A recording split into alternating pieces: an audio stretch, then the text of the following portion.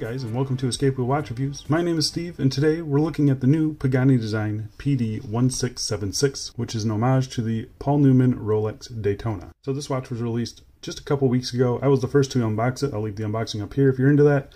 And I believe I'm the first to give this a full review. So uh, I just want to say a huge thank you goes out to the Pagani Design AliExpress official store. Uh, we'll be leaving their link down below. They sent this watch to me for free. I do not have to send it back, uh, but you'll see shortly that that won't have any effect on my actual review of this thing. It's going to be 100% honest. So, um, retail price for this watch is $115. You can pay an extra $10 to get the bigger, fancier box. The watch is offered in two different colorways. You have this white panda dial here, and you also have the black and white uh, reverse evil panda. And both of them are sold with the ceramic bezel inserts and I believe they are considering doing steel inserts. So uh, maybe keep an eye out on that, ask the store, uh, and see what they say. At the time of this recording, the sale price is under $90 for this, and for that you're getting a full 316L stainless steel case, sapphire crystal, ceramic bezel insert, screw down crowns, all three of those, screw down case back, a solid stainless steel bracelet, 100 meters of water resistance, and a Seiko VK63 Meca-Quartz movement. So it's a heck of a package, but it can't be perfect, right? Let's dig in. Uh, before we do dig in, I've been asked a few times now, do a wrist check. Today I'm wearing the Cronos Pepsi GMT. Go check out the review of that. I'll be leaving that up in this corner. Really like this watch. Anyway, let's get back to the review. All right, dimensions. So this is listed as a 39 millimeter case. And that's, that's just about what I'm getting. It's kind of hard to measure this one, but 39.1-ish. Um, bezel is 38 and a half, just to give you an idea. Case height, 13 millimeters flat. We have 20 millimeter lug width, and the overall lug to lug is 47.4 millimeters. So it's a great size. Uh, absolutely love the size of this thing, and I was surprised that they actually made a new case for this watch. Um, so the 1644, I believe, has a very similar case with these similar turn down lugs here. And uh, yeah, I, was surprised that they actually slimmed that down. That one's an actual 40 millimeter case, so this one's even smaller, uh, definitely thinner in the lug areas here, and you got brushed lugs there. We'll talk about that in just a moment. Uh, but yeah, I think the the case profile on this thing looks looks really really good. Very interesting, I think. Um, just something a little bit different, but I do really like the way that it wears. So I'm going to go outside right now and throw it on the wrist for you. Here it is on my seven and a half inch wrist, and you can see, I mean, the, the dimensions on it are just perfect. Um, yeah, really happy with the way it wears. You got nice curvature down on the, the lugs there, so it hugs the wrist nicely. Does sit up a little bit high, but really, really not too bad. Um, you know, lots of uh, shine off that bracelet and the ceramic bezel, and yeah, it does look uh, looks pretty good. I think. What do you guys think? Get it in some sunlight here. And here you can see, even in direct sunlight, it doesn't really get washed out. The the crystals, they say it has AR on it, um, anti-reflective coating, and I I think it does. It, it looks really good. It's been cutting down on reflections pretty nicely since I've had it. Uh, very happy with it. So I'm to go throw this on some other straps and we will get back to the review. And here it is on my Barton Silicone Elite. Probably my most worn strap out of anything super comfortable. Looks really really good. I had no doubts that just a plain black strap is gonna look good on this thing so yeah there it is. Looks really really good. And here it is on a dark brown vintage leather strap. You can see this is from my octopus but uh, yeah I think the the color combination I think works really good. It's got that vintage look to it so really brings out the details in my opinion and looks really good very comfortable as well. Hugs it right down to the wrist. This case shape is, is actually really, really nice. And here we are on a Marine Nationale style strap, black with the white stripe. I think it looks pretty good with the uh, the white dial. And, you know, the, the white dial is controversial, I know, but, uh, yeah, I think it makes it more of a strap monster. So just keep that in mind. If you have a cream dial, only certain straps really go well with it. So with the white dial, you can pretty much throw anything on it, and it's going to look good. So yeah, I do really like it. Still, even with one layer of uh, nylon under it, you can still see that it, it wears really, really good. Um, extremely comfortable. yeah, I do I do really like it. What do you guys think? And lastly, here we are on a seatbelt NATO strap, and yeah, two layers underneath the watch. It still hugs the wrist really well. Again, super comfortable. Uh, yeah, this thing's kind of a strap monster. I love it. What do you guys think? Let's get back to the review though. So let's talk about the case finishing. So the case finishing on this is really nicely done, I think. Uh, Pagani is usually usually does a pretty good job of uh, you know polishing and brushing and stuff like that. So not a not a real surprise here. It does have a vertical brushing on the top of the lugs here, as you can see. Pretty decent sharp transition. It's maybe just a little soft, but nothing you really notice when it's on the wrist. Um, down to polished sides, polished crown guards, signed crown, as you can see there.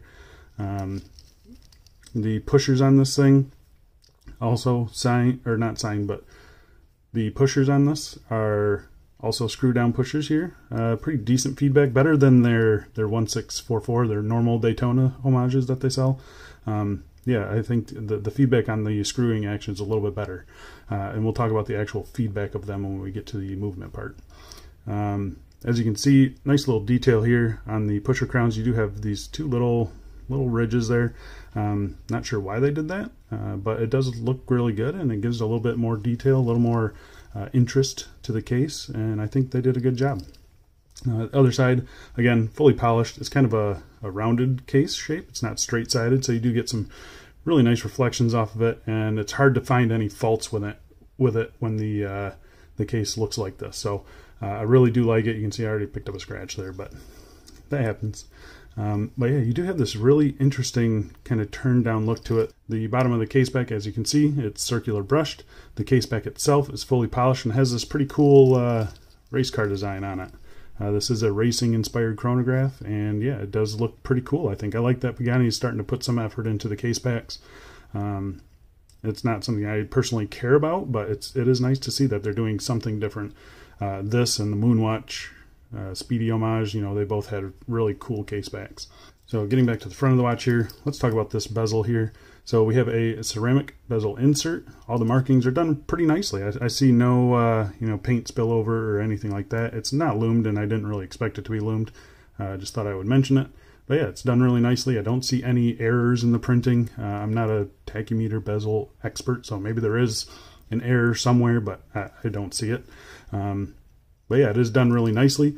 And as you can see, it is set into a steel bezel uh, that's press fitted onto the case.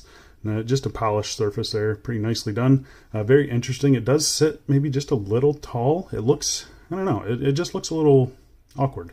Uh, it doesn't look bad. It just looks a little awkward. That's all. Uh, but it is it is nicely done. The crystal on this thing. It is absolutely gorgeous. Uh, they say that it is anti-reflective coated, and I tend to believe that. Um, it, it really does cut down on reflections, and uh, it's got no blue tint to it or anything like that. It just looks gorgeous. It looks really, really good. You can see it sits above the bezel there. Nice curve on the edge here, and then pretty flat here, so it, it does give very little distortion, as you can see. Um, yeah, I mean, it, it looks great. I've got zero complaints. I've had Pagani crystals in the past that are just horrible. Um, for instance, the, the Speedmaster one is just god awful. The uh, the Black Bay is pretty bad as well. Uh, this one is excellent. Uh, very happy with the crystal on this one. So let's talk about the dial on this thing. So we have a gloss white dial. I don't know if I can show it to you or not, but it is glossy white dial, matte black subdials. You can see they got the concentric circles there, the white paint in the inside. I think it looks really, really good. They did a nice job, very clean design. And yeah, I, I do really, really like it. You have the Pagani design chronograph and the logo at the 12 o'clock position. Uh, you don't see the sport text down here above the 6 o'clock subdial. I know the, the renders have that on there, but this one does not have it. But the funny thing is, if you, I'm going to see if I can show it to you. If you look, man, I don't know if it's showing up or not. But if you look in certain lighting, you can actually see the sport text kind of underneath the white paint. It's really hard to see in general. Uh, it's probably impossible to show on the camera, but um, yeah, I just thought that was kind of funny. They had it there at one point and they covered it up, and I, I think they they made the right choice personally. Now, this is a pure white dial. Here is my Alpha Paul Newman, and you can see it's clearly cream. Um, you got to get certain straps to work with this color, and uh, with the the white dial, you don't. This thing is kind of a strap monster. I've thrown a bunch of straps on it, and they all look good. Some of them wouldn't look good on that that Alpha, so uh, it's kind of a trade off. I do like the white dial. The handset on this, as you can see, uh, really nicely sized. They go all the way out to the minute track there. The hands themselves are kind of a black polished, so you got really nice contrast with the white background. And yeah, I mean, they look great. I have no problem reading it. Um, I do wish the subdial hands were white. They are just a polished silver handset. Um, yeah, I, I, don't mind that they're silver, but I would have preferred white hands. Uh, minute tracker on the outside, again, very hard to read uh, just because it's that darker darker red color on the black. You do have applied indices at all the hour markers with little lume plots on them there. Uh, the lume on this is the fauxtina, that vintage lume. Uh, it's not great, but it's a chronograph. You don't really expect it to be great, and chronograph and Pagani, uh, you don't expect it to be great at all. So, but I am going to put up a lume shot right now, and you can see it here against some of the other chronographs in my collection. Um, it's pretty much on par with everything except for the alpha, which is actually surprisingly pretty good. So uh, just don't expect great lumen, you'll be happy. So let's talk about the movement here. So the movement is operated by this 3 o'clock screw down crown. Really smooth screw in, screw out action. Uh, very happy with it. First position does have a ghost date position. Uh, I, I'm perfectly fine with them deleting that. I think it makes it look real nice and clean, so I'm happy that is gone. Uh, second position is your time setting position. You know, pretty typical. Uh, I've got no problems with the Seiko VK63. It's an excellent movement. Very happy with it. I've, I've had it in quite a few watches now, and every one of them has been reliable, accurate, and uh, yeah, no problems with it. The chronograph function is operated by these two screw down crowns. The first one here will start the chronograph second hand, sweeps along at, I don't know what it is, four or five ticks per second.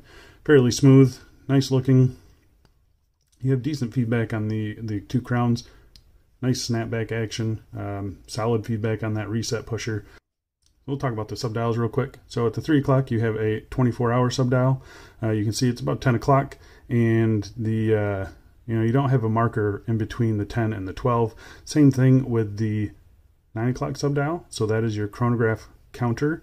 Uh, you don't have markings for every minute. So you're kind of guessing when you're in between the five minute markers. And that's kind of what I see on a lot of um, Daytona homages. I think the Speedies mostly get it right, uh, but the, the, Daytona homages don't. Um, yeah, they're a little bit hard to get accurate time readings, and that's kind of a big deal, I guess. Um, six o'clock subdial is just your typical running second hand no big deal. But yeah, the movement, uh, I'm very happy with it. Um, I've got no problems with the action of the crowns or anything like that. So really happy they're using this movement. Let's talk about the bracelet. Uh, this is your typical Pagani design bracelet, three link oyster style. You got polished center links, brushed outer links. Uh, finishing I think is done pretty good. You can see there is a little bit of uh, I don't know, spillover there. I, am just seeing this now, so I'm not sure what's going on with that. Um, that's probably just a quality control issue. You shouldn't see that on any other ones. Uh, end-link fitment, uh, very solid, very solid end-link fitment, no wiggle or anything like that. It does follow the curvature of the case nicely. The brushing matches nicely. I'm, I'm pretty happy with the finishing on it. Um, center links, you know, they have their typical pits and valleys that you see on, uh, you know, cheaper homages in their polishing. Uh, it's expected. Um, it's not great. You do have solid end links, solid links, and screw pins for adjusting. I had to re remove three links for my seven and a half inch wrist, and you got two extra plus some micro adjust. So you should be able to get a pretty good fitment on this thing. The clasp is your typical Pagani clasp. Got the fold over, and then uh, yeah, brushed on the outside, polished on the inside again, polished on the sides. You do have some sharp edges here. Uh, it's something I've complained about in the past, and I'm going to keep on complaining about it because it it does scratch things. I scratched myself earlier. I scratch my kids when I pick them up. Uh, yeah, they need to really, they, they really just need to redesign the bracelet in general. Um, yeah, you know, pretty decent action. Uh, nice, easy to open here. It's polished and kind of a satin brush on the inside. Um, yeah, this one actually works fairly good. Uh, it does have a sweaty day extension here, which is nice to see, and it is working. The inside of the clasp here, you can see the micro adjustment holes there. You just have to pop this extension out, and then you can get your uh, tool in there to to adjust it. Uh, kind of a pain in the butt, but it is what I expect. Um, yeah, the bracelet is it's just not my favorite. This one, this one especially is very cheap sounding. It doesn't feel cheap when it's on the wrist. Uh, it feels fine. Uh, it's actually pretty comfortable, and I, I, really don't have much of a problem with it, except when I'm going to put it on. Just listen to this. It's not. I think a lot of that is this first link. You get lots and lots of play on that first link, and this is a problem with pretty much all of this uh, these Pagani style oyster bracelets. Um, they really they need to just redo these. Um, personally, I think this thing would look awesome on one of their rivet style bracelets with their new double pusher clasp. Um, I think it would look great. Uh, I would love to see them redo this. Maybe female end link would be even better. Um, yeah, as as it is though, the bracelet is it's not it's definitely not the highlight of the watch. Um, probably the low point of the watch, but it's not a horrible bracelet. It's just not a not a good bracelet at all. Uh, so there you go, guys. That is the new Paul Newman Daytona from Pagani Design, the PD1676. It is a, I think, a great deal at $90. Uh, definitely something different than the more modern day homages. And yeah, the crystal I think is just great. The the case itself is excellent. I have got no problems with it. Uh, throw this thing on a strap, and you're going to be super happy with it. Uh, maybe you'll like the bracelet. Maybe you'll get one that's a little bit better. I don't know. So if you guys are interested in this, again, I'll be leaving an affiliate link down below. That affiliate link, it doesn't cost you any extra. It just gives the channel a little bit of commission with anything you purchase during that visit. Uh, so if you guys do use it, not just to buy this watch, but to buy anything on AliExpress, uh, thank you guys so much. Um, I, I, really appreciate it. Loving this. Uh, love doing these reviews for you guys, and the fact that you guys are using my links and you know watching my videos, it means that I'm gonna get more of these watches in, and we'll be doing some uh, giveaways on these things, and uh, yeah, we'll have lots of fun with them. So thank you guys again for all the support. If you guys want to see some more pictures of this, I will be leaving my Instagram account down below. If you guys have any questions or comments on this watch, uh, please drop them down below. Let me know what you guys think. Do you like it? Do you don't like it? What would you change? Um, would you add a cream dial option to it? Maybe maybe they'll do it. Um, yeah, leave those comments down below. I love chatting with you guys. Uh, I think that's about it. Thank you so much for watching, and I'll see you in the next one. See ya.